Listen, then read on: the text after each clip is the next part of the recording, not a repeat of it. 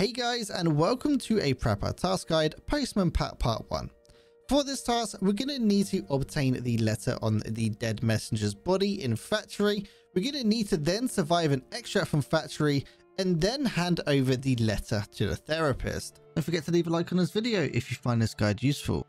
So here in front of you is a map showing you where you're going to need to go on factory. So once you're inside factory, what you're going to want to do is come to the area where it says 1986.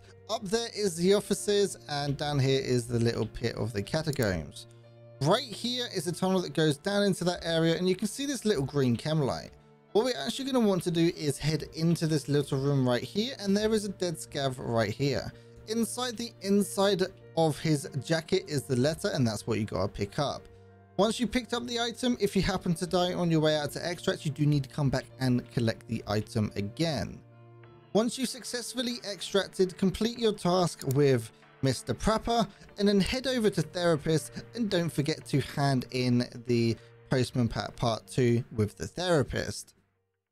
If you are struggling with this task or just in general wanting to find people to play with, head over to piranha.tv slash discord. We do have a decently large looking for group community as well as a Sherpa system so if you just need a bit more help than normal then we are there to help you.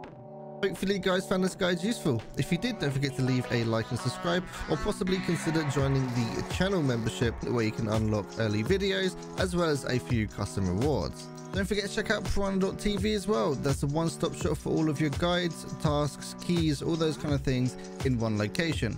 Hopefully you guys found this guide useful and I'll see you in the next video. And a big thank you to all of my Patreons supporting me over on patreon.com slash piranha TV.